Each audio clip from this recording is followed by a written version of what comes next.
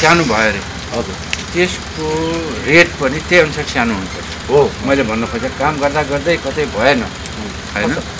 अब सबैमा पाँच हजार परेको छ त्यो।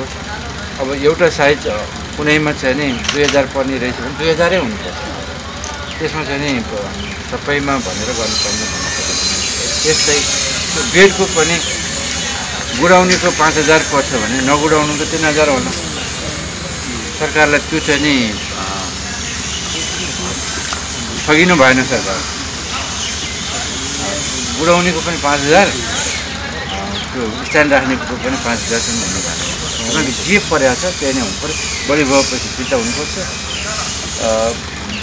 के अरे नपुग पैसा माग्नुपर्छ। नपुगेको ठाउँ भेरिएसन पनि हुन्छ कुनै पनि हालतमा यहाँबाट यस्तो गरेछन् भन्ने छैन छिटो काम भएको छ तर यसरी बिगारेछन् भन्ने भयो भने चाहिँ मजा आएन हेर्ने मान्छेलाई पनि मजा आएन